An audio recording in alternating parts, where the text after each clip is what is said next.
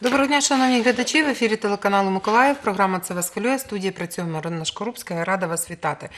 Біля екранів е, Ваших телевізорів. Залишайтеся на телеканалі Миколаїв. Як завжди, у понеділок ми зустрічаємо- зустрічаємося з медиками нашої області. І сьогодні тема досить таки важка, але важлива. Це дитяча онкологія. Наш гість Віктор Вікторович Медведєв, позаштатний дитячий онколог. Добрый день. Доброго дня вам. Е, 15 лютого відзначався Всесвітній день дітей, що хворіють онкологічними захворюваннями. Для вас ця тема найближча, тому що ви повсякденно в своїй роботі стикаєтеся з дітьми, з історіями, з історіями іноді трагічними, іноді завдяки е, лікарям е, і вчасному зверненню е, пацієнтів вдається все ж таки побороти це зле захворювання. І хотілося б розпочати з того питання, якого не люблять лікарі, тому що ну, на нього справді нема відповіді, але хотілося б почути, е, щоб почули наші глядачі. Отже, чому в дітей виникають онкологічні захворювання? Ну, теорий множество, но основная это ослабление иммунитета у ребенка, избыточная инсоляция, в основном заболевают, чаще попадаются на дети с лейкозом после отдыха на море, загара, загаров. Такая есть теория, есть еще врожденные заболевания онкологические. Дети в основном до 5 лет это эмбриональные опухоли. Они относятся к врожденным. Проблема во время беременности у матери дают. Причины множество, в основном такие решают. Тобто, Также поштовх- экология сейчас играет роль, материально-бытовые условия. Ну, я уже сказал, как ослабленный иммунитет, питание, все это играет роль. Как бы и социальная проблема, рост заболевания и такая. Хотілося б сказати нашим глядачам, що ми працюємо в прямому ефірі, тому звертайтеся до нас за номером, який ви будете періодично бачити на екрані 76 92 42. Це прямий зв'язок зі студією. Ми обов'язково відповімо на всі ваші питання, що стосуються даної теми. Отже, Віктор Вікторович, ви умовилися, що причин багато, причини е, різні. А що буває найчастіше поштовхом для цього?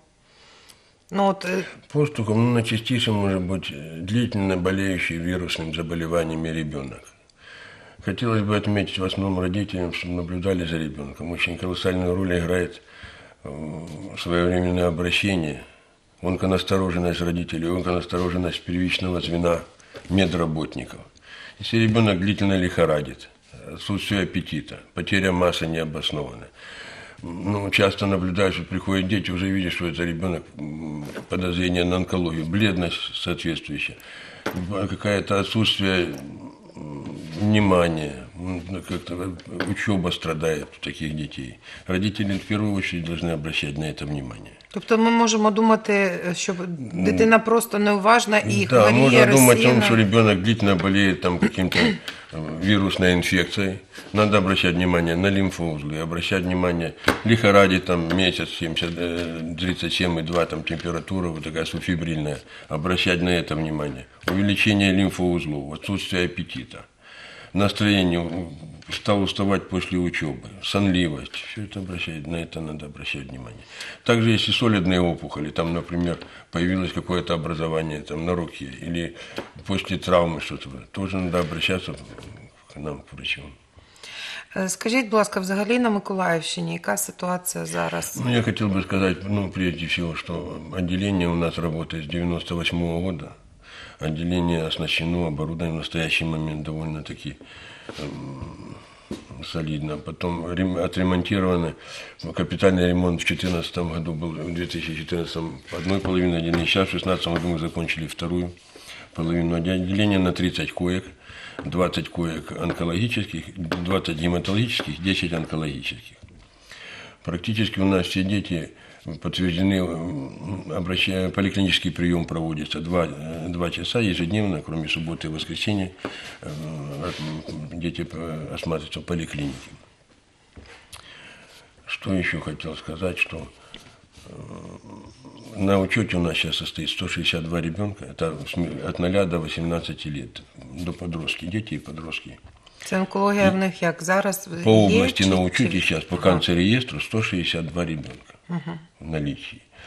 И, э, Что касается первичных заболеваний, в 2014 году у нас была, я думаю, самая высокая заболеваемость на Украине. Это было 40 человек за год.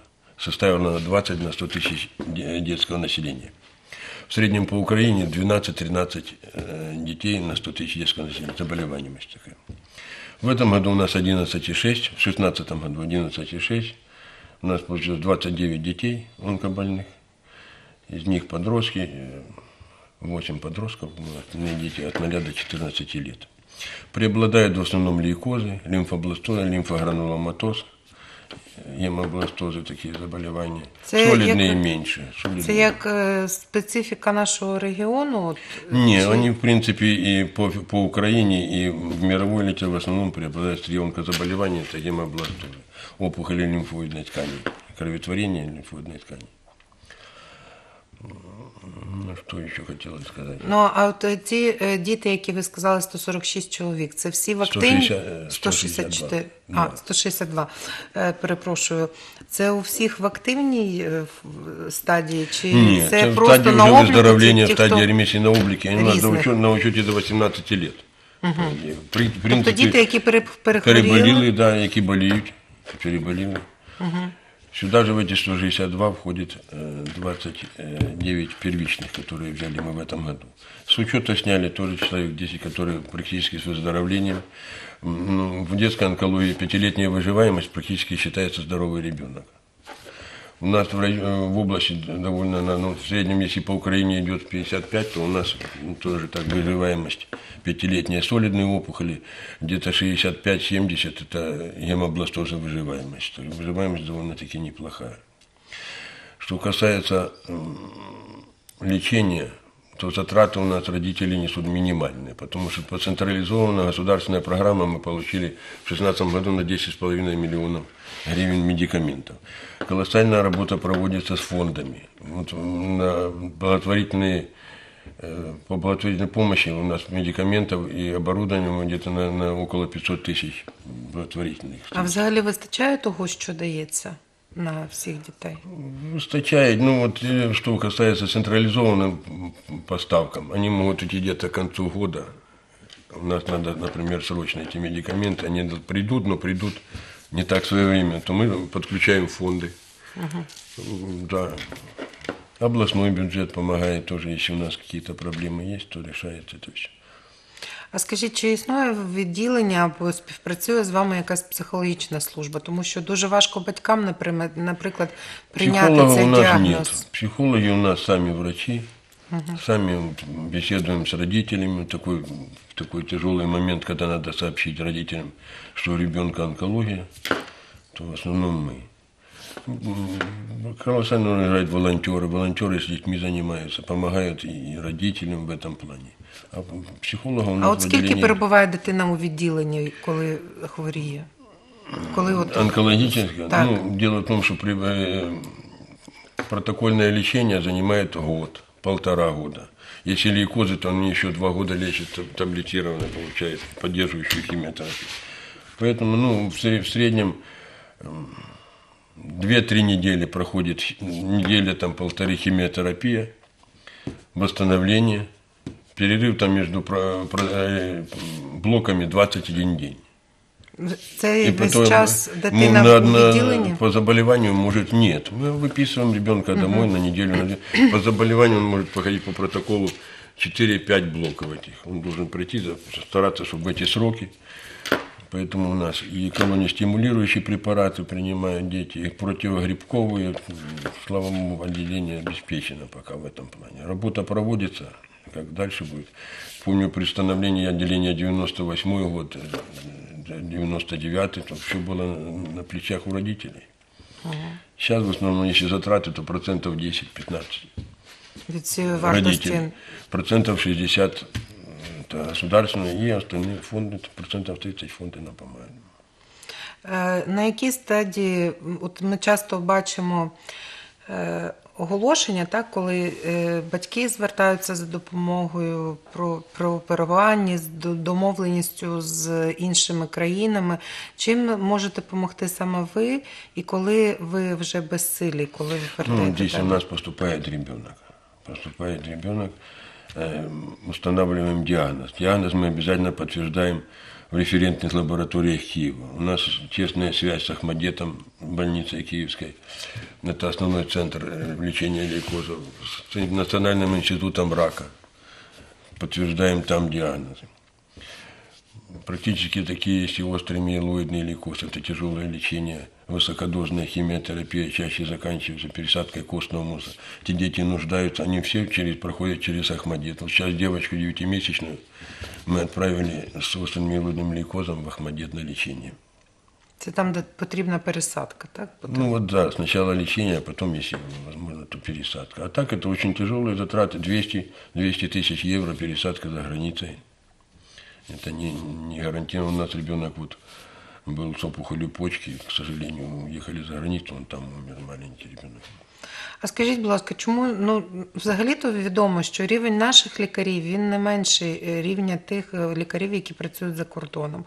Чому наші лікарі не можуть проводити ті операції Ну, это саме вопрос, наверное, не ко мне, это вопрос к министерству. Почему а, обеспечение должно быть очень дорогое оборудование, очень дорогие реактивы, колоссально, да, и поэтому у нас основные центры это Ахмадет для т- трансплантации стволовых клеток, институт рака, там немножко еще крупные города там есть, пытаются так, а в основном Ахмадет, потому что колоссальные затраты. Скажіть, будь ласка, який у вас зв'язок от з районами, з районними лікарнями?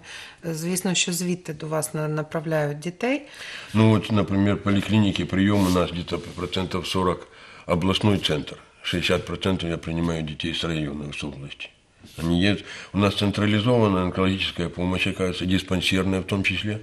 Детских онкологов практически нет. По, по количеству детского населения положен один детский онколог. Отвечает в основном райпедиатры за диспансерную группу. Ну, стараемся мы всех принять у себя, обследовать э, детей в этом плане, потому что как бы в районе лабораторные проблемы там и все это мы решаем у нас в отделении. Під час е, чи допомагають виявлення от таких от е, тяжких або легких форм онкології м, постійні профогляди, які проходять е, в шк- в школах? Ну щорічно? да, я говорил уже, что в основном онконастороженность. И врачей, и все. Ни, ни в коем случае не должно быть никаких формальных отношений к этим осмотрам. Я сам работаю в поликлинике, я знаю, эти осмотры в спортзалах раньше были, 50-60 человек, все это галопом, конкретно там особо не рассмотришь. Ну, Вот в этом плане надо решать вопрос. В основном онконастороженность. Онконастороженность в основном родителей. Прежде всего обращать внимание должны родители. Что-то не так, сразу идти к врачу, ребенок, смотреть, сдавать анализ, решать вопросы. вот эти. Скажіть, будь ласка, е, звичайний аналіз крові може якийсь е, вже показати негаразд? Отклонение, конечно. М, Низкий гемоглобин, лейкоцитоз высокий. Вот у нас поступает с лейкозом ребенок. Если норма там 6-7 тысяч лейкоциты, то это было там 300-400 тысяч лейкоцитов. Явно, что изменение колоссальное. Соя высокая. Изменения в анализах крови, конечно. Е, Скажіть, будь ласка, Не всегда, но на ранних стадиях. Я просто хотел сказать, что детская онкология чем трудна, что если во взрослой там визуально эти видны опухоли, там можно эндоскопию сделать, колоноскопию, что-то увидеть, то в детской онкологии находятся в таких труднодоступных обследованию местах, забрюшинно, где-то вот в бронхах, в глубине. Ребенок проявляется диана, когда уже клинические проявления есть. Вот изменения в крови, изменения. На первой стадии практически нереально поставить этот диагноз. Бывали, ну вот у нас дети есть с нейробластомами, это ну, как находка. На УЗИ увидели опухоль, она там до двух сантиметров трех. Подсмотрели томограф, направили в Киев, это первая стадия нейробластома. Ребенок прооперировался и не нуждался в химии, и слава богу, живет прекрасно и здоровый ребенок. Но это единицы такие. В основном дети поступают, когда тобто, якщо в дорослого щось може боліти, безпокоїти і все інше, то дитина може себе до останнього часу поводити як Ну, да, звично, по- так? Может, это ребенок, тем более, да, они могут играться. У нас здесь сидят, даже проводят химию, дети играются, сидят, если взрослым тяжело это переносить, то ребенок немножко легче. Надо, конечно, сказать, что в отличие от взрослых, опухоли у детей хорошо поддаются химиотерапии, хорошо поддаются лучевой терапии. Поэтому лечить надо. И хотелось еще сказать родителям, что это не приговор. Основная задача вовремя обратиться. На ранних стадиях вообще выживаемость очень хорошая. Ну, от К саме, сожалению, что только поступают они не на ранней стадии. саме ставлення род- батьків і якби лякає в цьому випадку, тому що будь-якому батьку матері скажуть, що в дитини Это онкологія. шок. Конечно, перший- первое время это шок. Потом они вот общаются с, с родителями, смотрят, что есть выживаемость, дети облечь. Потом ну, человек к любому привыкает. Но первое время, конечно, что хотелось бы, чтобы был психолог, как-то поговорить. У нас есть больнице психолог, он работает, но в основном по, с тяжело очень. Это больше это врачи говорят. Обычно семья, родители принимают это в штыки, не верят, поэтому нам обязательно мы сто раз проверим, проведем анализ, и все, если мы уже подтверждаем диагноз, то мы подтверждаем его полностью. Ну, тому що е, в таких випадках дуже часто буває помилка, коли батьки не вірять, їдуть далі десь перепровірятися, а це втрачається час і могло б Есть проходити запущенные лікування. случаи, вот именно, что они там поехал, пока узнал, все это проблемы бывают с этим. Иногда и родители отказываются от химии. К сожалению, это их право, потому что это их ребенок. Мы не даем гарантию 100% выживания. Мы не можем сказать, что мы проведем химию, ребенок будет жить у вас. Все бывает. А родители сами, по идее, решают. Пи- Вони пишут. мають право відмовитися від хіміотерапії. Ну, Вони приймають дитину. Ну, д- ви- виходить, що Мы вони стараемся, приймають мы стараемся за дитину уговорить их, рішення. назначить лечение, да. Ну, иногда при- под- подключаем мы социальные службы.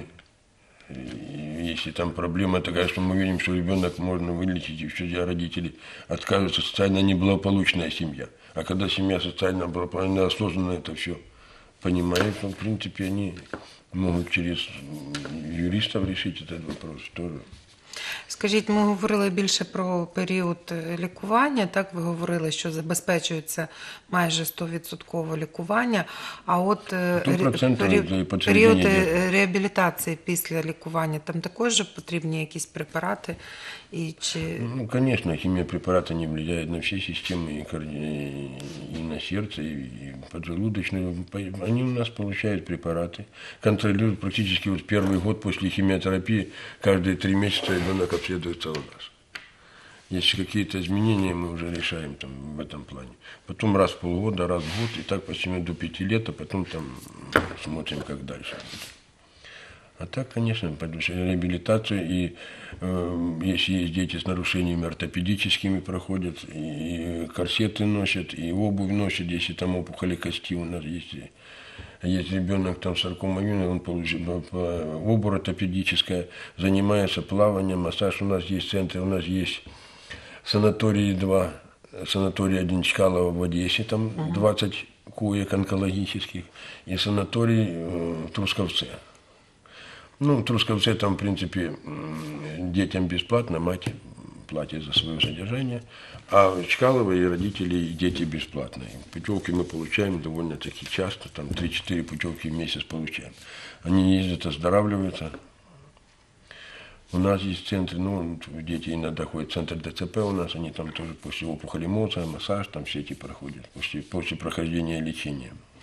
А скажіть, будь ласка, з з огляду на ваш досвід і на досвід роботи вашого відділення з цією групою захворювань, чого що, що б хотілося для того, щоб ваша робота була ще ефективнішою? Яка допомога потрібна? Ну, вот хотелось бы, чтобы вовремя обращались. Раз. Хотелось бы, например, если мы получаем препараты, то качественные, по централизованной программе тоже, потому что иногда приходят препараты, которые не, не хотелось бы применять. Вот такая ситуация. А так в основном справляемся. Ну, естественно, если помогают волонтеры и фонды, то проблемы есть, проблемы есть и в оборудовании, и в том ну, стараемся выполнять. А от саме до 15 лютого, лютого чи відбувалися якісь заходи спеціальні? Заходы сбывалось в театре Чкалова. Ну, хотел сказать, что этот день впервые был в 2002 году. И он, э, день онкобольных детей 15 января, потом 15 февраля. День основан в основном для помощи, материальной помощи онкобольным детям.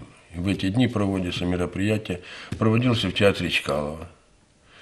Часть средств получили мы. И, э, ребенок поступил у нас, тяжелый, малообеспеченная семья. Надо сказать, что препараты крайне дорогие и очень дорого, практически они дорожают ежемесячно. Вот у нас был ре- препарат, который он не зарегистрирован в Украине, но в протокол он входит. Флакон стоит 3200. Мать не может себе позволить. А на один курс ребенку надо два флакона. Это 6400 только помимо тех препаратов, которые у нас есть У нас есть. Ну, вот такое нам помогает. Ну і частіше ж буває так, що м, якщо, не дай Бог, така біда в сім'ї, то один з батьків обов'язково біля дитини і не працюючи, тому що постійно біля дитини Ну, в основном знаходиться. мать, да, в основном мать. Часто многодетные семьи, я уже говорил, социальная проблема, многодетные семьи, там, то, ну, встречает. В основном с ребенком мать, отец э, там работает в этом плане. Мгм. А чи м, потребує дійсно постійного перебування біля дитини? Ну, не всегда, но в основном, если ребенок там взрослый, то а так в основном химию проходит. Это капается, иногда стоит у нас 3-4 инфузомата. Покапается суточно, там 5-6 суток. И ухаживать надо, и э, питание там приготовить, что-то у нас и микроволновка, и газовая печка в отделении, или родители готовят свежее там все. Ну, желательно, чтобы на период химии хотя бы. Потом восстановление, когда ребенок уже ходит свободно в туалет и везде, он может и сам справиться. А с маленькими детьми родители постоянно. Який саме маленький пацієнт зараз у вас у відділенні? Ну, у меня был ребенок, врожденная опухоль. Мы жда- я ждал, когда ему будет 5 килограмм, чтобы начать лечение. Вот с 5 килограмм можно начинать лечение. Ему месяца не было. І Одразу, И выжил, слава Богу. і одразу о, о, це дослідження показали, так, його хворобу? Чи як? Да, его прооперировали. Это врожденная тератобластома. Б- б- Она уже была малигнизирована. Подтвердили в Киеве. По протоколу прошли лечение, ждали, чтобы 5 килограмм. Потом провели лечение, и ребенок живет. Це не може радувати такі успішні. Ну да, я думаю, 6 лет, наверное, так. Это Были уже взрослые. У нас вот есть девочки, она поступает в 17 лет. И два месяца пролечилась, мы же уже не можем ее оставить где-то, перевести в Азов. Мы уже проводим лечение полностью, чтобы там, ей уже будет 18, и вот такая ситуация. Ну, Дякую вам за те, що ви сьогодні прийшли. Я думаю, що головним меседжем нашої сьогодні бесіди було те, щоб не допустити або вчасно виявити дитячу Вот онкологію. именно, что вчасно. Желательно, Так, чтобы вчасно. треба- да. треба Еще раз спостерігати. хотелось обратиться к родителям, онконастороженность прежде всего. Мы никогда никому не отказываем в приеме. Иногда и не соблюдаем. В течение всего рабочего дня могут подойти и обратиться. Не обов'язково мати при цьому направлення, так? Да Чи и не прям- обов'язково. Жалобы мы тоже принимаем. Ну, желательно, чтобы было направление, и карантинная справка, и прививочная форма. Это по протоколу Не, так ну, все а желательно. в поликлинику Но если можно они это с- ничего не могут на консультацию, ради бога, пусть они могут, если для них проблема, это пусть мы все равно придем, они посмотрят, мы посмотрим. Вже ви нікого без Определимося. уваги не залишите. Ну, так? конечно. Я дякую вам за те, що ви сьогодні були з нами. В нашій студії е, З нами був Віктор Вікторович Медведєв, позаштатний дитячий онколог. Хочеться побажати вашим е, лікарям і медсестрам міцного здоров'я, терпіння, наснаги у боротьбі з такою важкою хворобою. Ну і звісно ж, хочеться побажати, щоб у вас було поменше пацієнтів. Спасибо. Я Спасибо думаю, що ви цього також бажаєте. А нашим дітям я бажаю здоров'я і всім нашим глядачам до побачення, до нових зустрічей.